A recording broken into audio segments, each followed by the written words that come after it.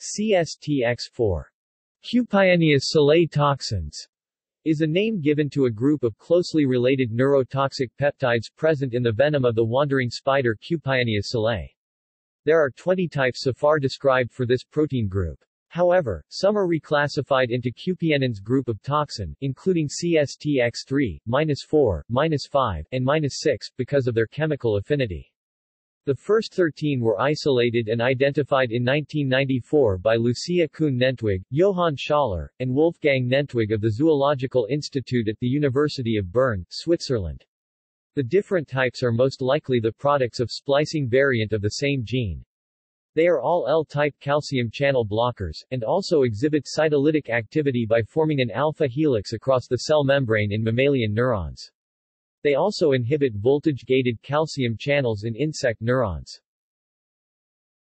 Types The best understood members of the neurotoxin group of CSTX are CSTX1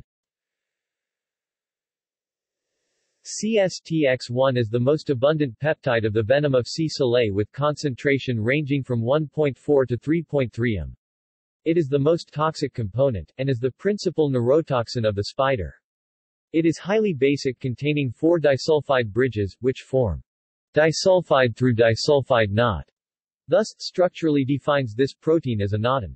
It has two natural degradation products, namely CSTX2A and CSTX2B, which occur in low amount and are less toxic than the CSTX1 itself.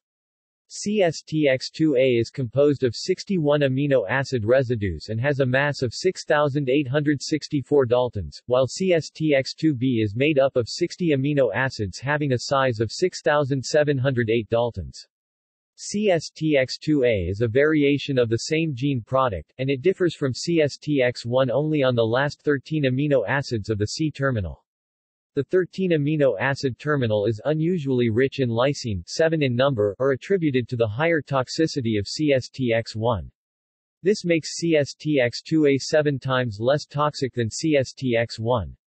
Further, CSTX2B also lacks arginine at position 61 compared to CSTX1, and this reduces the neurotoxicity by 190-fold.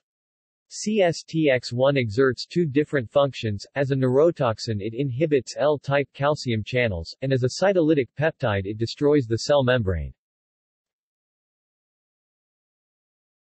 References. External links. Information at Uniprot Spider Bioresources CSTX1 profile at MyBiosource